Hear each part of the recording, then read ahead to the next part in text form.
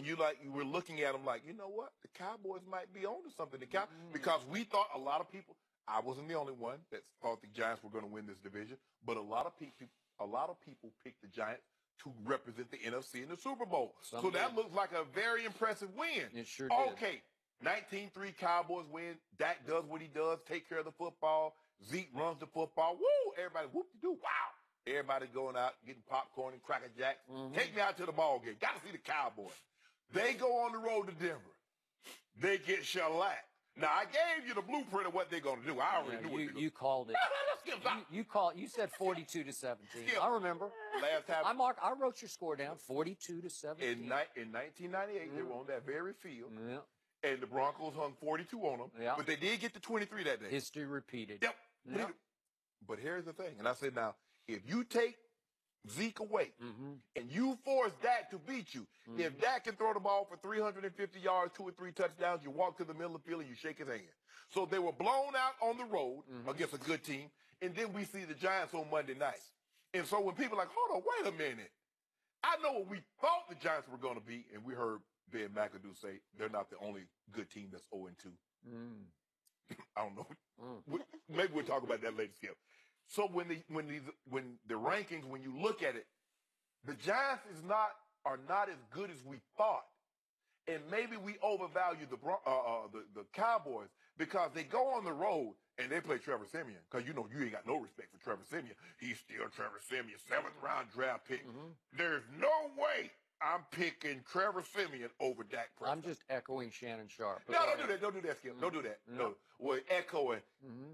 We got the break speed off us. We got the break beat off. Yeah. Got the break speed off us. So, 15th is a very good spot for them, Mhm. Skip. Because okay, let me ask you this: Fifteenth is they're only thirty-two, so that's kind of like middle of the But- pack, right? what what are we? They play a bad Giants team, they Mhm. win. They play a good Gi- uh, Broncos team, they get blown out. So, do we really know two games into the season what they really are? Okay, but this is what I love about the rankings, Skip. You get an opportunity on Sunday or Monday night to move up or down. You could bird in the hand, Skip. Yep. Only what's going on with this bird in my hand, Skip? Mhm. Only you know. Mm. You can control it. Oh, you're a magician. Okay. So, Cowboys, if you don't like your ranking, Skip. If you don't like the Cowboys ranking, tell them to do something about it. Oh, they will. They're they're about to start. So, so what should they be after they go one and two? they're not going to go one and two. So, are you finished? I'm done. This is all time laughable week two overreaction by the cowboy hating media.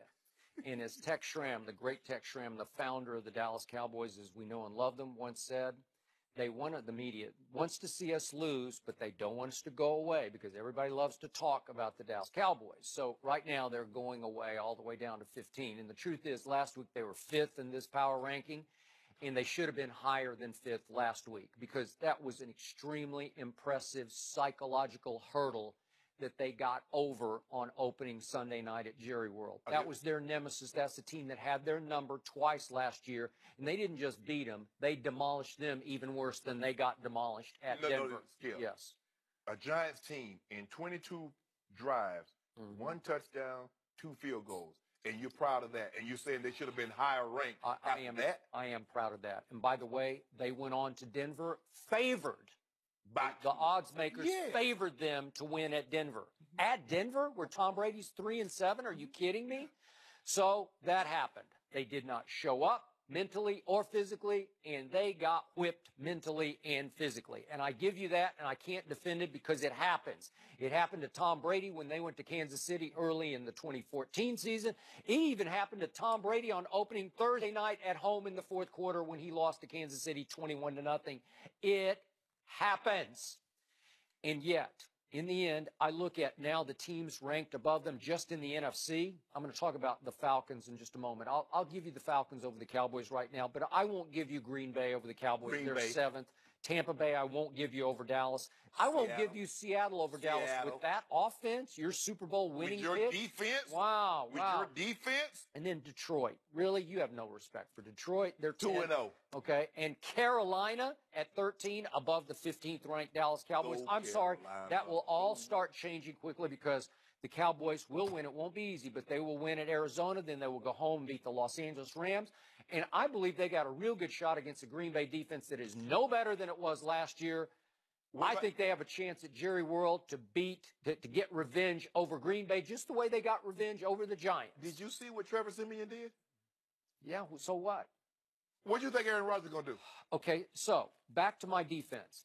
If, if you want to rank them 15th just because they're decimated at cornerback, I, I have to give that up to you because I told you my best defensive back was Orlando Scandrick. He missed the game with the broken hand in Denver, and it was a killer. And I told you on air last week, I said, I'm afraid about that. Nolan Carroll, I'm not the biggest fan of, but at least he started 54 games for the Eagles, and he went into concussion protocol late in the first quarter after he didn't show up anyway, so it really didn't matter. But he's out probably for the next game. You see Brandon Carr? Wow. Brandon Carr had him two picks Yeah. on Sunday. Okay, well, you hate him. You call him used car. Whoa, whoa, whoa, whoa, whoa. Mo Claiborne, Brandon Carr, But, but, six of one, half dozen of the other. but here's the thing. As bad as they were, and they were awful at times, they kept Jerry Brown on the bench. Mhm. There's a reason why Jeff Heath could not start Mm. over Wilcox and, and Church. Mm. But all of a sudden, he gets out there and you get mad at him because CJ put the move on, put the open. Yeah. So who have I raved about through the preseason? Chidobe Awuzie, and he immediately pulls his hamstring in the first quarter, and he's gone. Yeah. And that leaves me Jourdan Lewis, uh, another rookie who missed the entire preseason with a must have been a torn hamstring, missed game one with the same hamstring, and gets thrown into the orange fire at Mile High in his first ever NFL game of, of preseason or regular season. I tried. Really? I tried to prepare you. Wow. Prepare you for this, Skip. I said you're asking an awful lot of rookies to come in and contribute Mm. Yeah, heavy but, minutes. but even if they're just nickel corners, that they had to be starting quarterback corners all this. stuff. you and Jerry and the Cowboys faithful was thinking that you were going to strike, lightning was going to strike twice. You're going to get the same kind of production out of this rookie class as you got out of Zach and Deke. Mm-hmm. Yeah. Mm-hmm. Zeke. And I told you it was not going to happen. They're but hurt. your head They're hard, all Skip. hurt. Everybody's hurt. Anthony Hitchens had a great camp, and he's out, and they have to throw Jaylon Smith in, and he's not ready yet. He's not moving like Jaylon Smith moved at Notre Dame before that horrendous injury. Okay. Okay, so I'm I'm decimated. Byron Jones, I didn't even know if he was going to play with a pulled groin, and he tried to play, and he didn't look like Byron Jones. Oh, but what about Sean Lee? Did you see C.J. Anderson running through Sean Lee? Yeah, I thought he played his guts out like he always does. I did. No. I did. He and Dak, they they gave all they had to give. The- No, stop doing that, Skip. Yeah. Dak threw two picks. And whose fault were they? Dak. You, you said that they were both. Dez's. Dak. Oh yeah, they're yeah. The, the first one's really whose, Dak's fault. whose resume do they go on? Well, that's unfortunately the truth. Eh, okay then. Yeah. So he threw the ball. Yeah. Throw it better. Hit so me in the chest. Put so you got Atlanta as your best team? Go ahead. I got Cowboys. say it. I got Cowboys at 15. yeah. Do you think uh, is Atlanta the best team in football now? Should they be ranked number one? No, Kansas City should. Okay. Kansas City has the most Best team in the NFC is is the Falcons. Okay. So right now the Falcons are either one or two in all these power rankings. And, and I look at what the Falcons have done so far.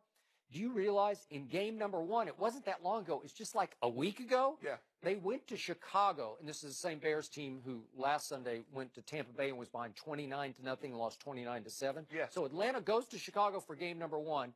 They survive 23 to 17 after Mike Glennon and company have first and goal at the five with 28 seconds left, and Glennon throws two balls that should have been caught for touchdowns. Can we see those two? The first one's to Josh Bellamy, and, and it was a really nice throw by Mike Glennon. Here it is. Hits him right in the hands, and he drops it. That's all. It's game over. Atlanta loses the game. And he drops it. That wasn't an easy catch. Okay, it wasn't an easy catch, but he should have made the catch. But this is an easy catch. Can we go to number two now? This is Jordan Howard at the goal line, and he dropped it. He's going to back in for the game-winning touchdown. Hits him right in the hands, and he drops it. I'm not sure he would have gotten in, but it would have been real close. It hits him right in the hands. This is game over because Matt Ryan's not going to have any time left to do anything. Then there's an incomplete on third down, and he got sacked on fourth down, and they survived. And that's your team that's best in the NFC? Are you kidding me? Sometimes, sometimes you have to find ways to win as opposed to finding ways to lose. Yeah. Now you have been a Cowboy fan all these years. Yeah. You can you count? Do you have enough fingers and toes to count the ways you guys have lost? Mm. Remember Tony Romo bobbled that snap? Remember Tony Romo threw that pick? Mm-hmm. You remember Tony Romo and Dez dropped that ball? How many different ways, Skip? I can go on and on. I can keep on busting you up. Yeah, you're really busting me up just the way Atlanta really busted up Green Bay. That defense is no better than it was last year. And on But what Sunday about night, defense? Okay, Skip? but uh, we're talking about Atlanta that you said is clearly the best team They in the are. NFC. And and I saw the Atlanta Falcons against the Green Bay defense on Sunday night in their new home. They rang up a grand total of 364 yards. That's not impressive because Brett, I mean Brett, uh, Aaron Rodgers had 367, so he had more yards than Matt Ryan did total yards. But Really? could Green Bay run the ball like Atlanta could? Did you see what Tevin Coleman? Did you see what Devonta Did you see Freeman what? Atlanta did last year in the NFC Championship game when they hung 44 on them with 493 total yards, 10 of 13 on third Your down, team could have at been- 30 first down, Had your team done taking care of business, Mm. they could have had the NFC Championship game in their building. and they would have won that. No, they wouldn't. Yeah, they didn't take care of business. Mason Why? Crosby took care of do business. that, Skip. Well, it was, you, you know it was. Those are two luckiest playoff field goals I've ever Well, seen. well, give 56 Vinatieri, and well, give 51. Vinatieri the same amount of credit he, then. he kicks them Man, right down You the don't middle. even believe this. you know? Why? You think the Seahawks should be should be ranked? The Seahawks, the Panthers, they beat the 49ers and beat the Bills nine to he three. doesn't believe this. The Titans, So you believe the Giants are that much better than the Browns? the, I- the Ravens beat the Browns and the Bengals. Yeah. The Bengals haven't scored a touchdown yet this season. Giants have Giants got one. Mm. Giants Wow. Oh. got one. You're just being a cowboy You don't even believe that. My team is Is it time for Kevin Durant to stay off social media? We'll discuss that next.